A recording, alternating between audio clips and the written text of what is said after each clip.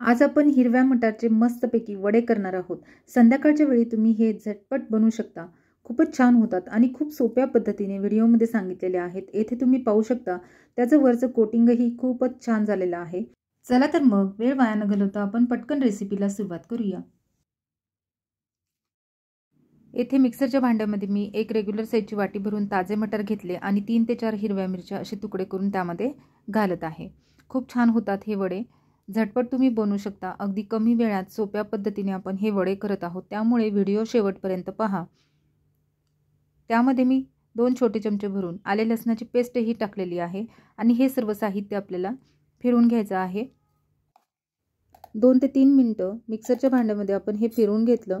त्यानंतर चमच्याने पुन्हा एकदा हलवून पुन्हा एकदा आपण फिरून घेतलं. आता इथे पाहू शकता मिश्रण आपलं चांगलं तयार झालेलं आहे. आपण इथे बॅटरची तयारी करून घेऊया. तर येथे तीन ते चार मोठे चमचे भरून मी बेसनपीठ घेत आहे. बेसनपीठ मी चाळूनच घेतलेलं होतं. बेसनपीठ चाळून घेतल्याने त्यामध्ये गुठाळ्या वगैरे होत नाही त्यामुळे ते चाळूनच घ्यावं. आता त्यामध्ये पाणी घालून आपल्याला हे पीठ असं भिजवून घ्यायचं आहे. तर खूप पाणी पण घालायचं नाही.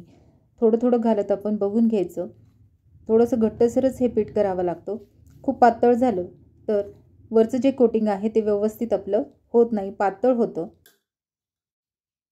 हे बॅटर आपण भिजून घेतलेलं आहे. त्यामध्ये आता आपण चवीनुसार मीठ घालूयात. आणि एक चमचा ओवा हातावर घेऊन आपल्याला असा क्रश करून टाकायचा आहे. त्यामुळे ओव्याचा जो फ्लेवर आहे तो त्यामध्ये चांगला उतरतो. आता ओवा आणि मीठ आपल्याला मिक्स करून घ्यायचं आहे. आणि हे मिश्रण आता आपल्याला पाच मिनटं अशा पद्धतीने चांगलं फेटून घ्यायचं आहे. फेटल्यामुळे वडे आपले खूप छान होतात स्पॉन्जी होतात. तर पाच मिनटं असं फेटून घ्यायचं आणि आपण हे मिश्रण थोड्या वेळ भिजू देऊयात. तोपर्यंत आपण जे आतलं सारण आहे ते तयार करून घेऊयात. तर येथे कढईमध्ये मी थोडंसं तेल घेतलेलं आहे. आता तेलामध्ये आपण जिरे मोहरी काहीच टाकायचं नाही कारण आपण वडे करणार आहोत. त्यामुळे मी इथे धणे पावडर घातली आहे. तर जिरे मोहरी न टाकता आपल्याला फक्त येथे धने पावडर घालायची आहे. आणि त्यामध्ये आपण नंतर हे वाटण केलेलं घालून घेऊया. तेही आपल्याला चांगलं तेलामध्ये दोन ते तीन मिनटं चांगलं परतून घ्यायचं आहे. तर बारीक गॅसवर आपण हे वाटण चांगलं परतून घेऊया. कमी साहित्यामध्ये आणि कमी वेळेमध्ये आपण हे वडे बनवणार आहोत.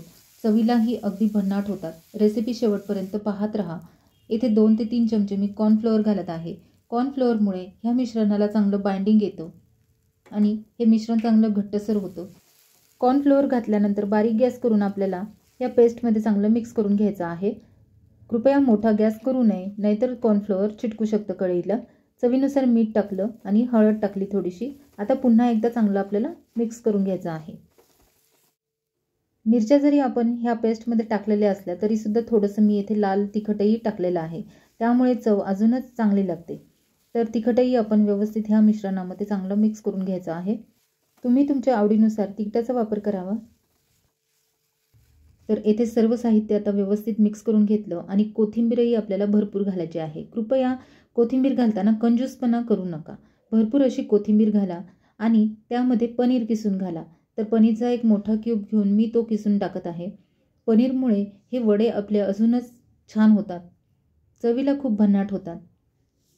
आणि वडे करताना आपण जे बॅटर बनवून ठेवलेलं आहे त्यामध्ये एक सिक्रेट इन्ग्रेडियंट आपण शेवटी घालणार आहोत. त्यामुळे तुम्ही व्हिडिओ स्किप करू नका.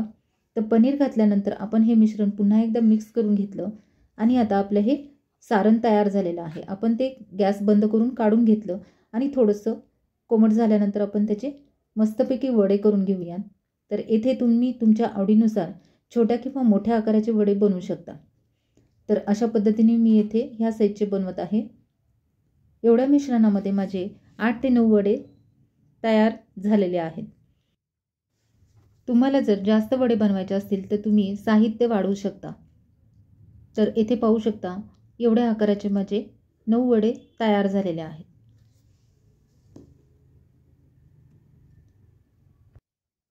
वडे करण्यासाठी आपण जे बेसनचं बॅटर बनवलं होतं त्यामध्ये मी येथे पाव चमचा बेकिंग पावडर घालत आहे. बेकिंग पावडरमुळे वड्याचं जे वरचं कोटिंग आहे ते खूपच छान होतं स्पॉन्जी होतं.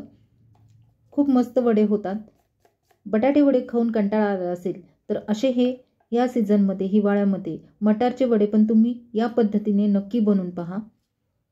चला तर मग इथे आपण बेकिंग पावडर मिक्स करून घेतलेली आहे. इथे पाहू शकता अशा पद्धतीचं बॅटर आपल्याला लागणार आहे. जास्त पातळ करू नये. आता तेल पण चांगलं कडकडीत गरम झालेलं आहे. त्यामध्ये आपण वडे तळून घेऊया तर छोटे छोटे गोळे मी आधी टाकून पाहते.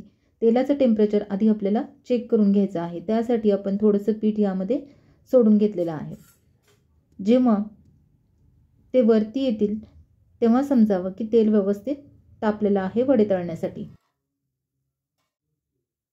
आता आपण एक गोळा यामध्ये बॅटरमध्ये घालून घेतला. व्यवस्थित त्याला बेसनचं बॅटर कोट करून घेतलं आणि हे वडे आपण तेलामध्ये सोडून घ्यायचे आहेत. अगदी झटपट आणि हिवाळ्यामध्ये असे मटारचे वडे खायला कुणाला नाही आवडणार. खूप झटपट तयार होतात. तुम्ही पण हे वडे नक्की करून पहा. तर अशा पद्धतीने आपण हे वडे सोडून घेतलेले आहेत. ते उलटपलट करून आपल्याला चांगले गोल्डन ब्राऊन कलरवर तळून घ्यायचे आहेत. तर येथे पाहू शकता वडे आपले मस्त तयार झालेले आहेत. आणि अशाच पद्धतीने आपण बाकीचेही वडे तळून घेऊया. तर असे हे मटारचे मस्त स्पॉन्जी वडे तुम्ही नक्की करून पहा.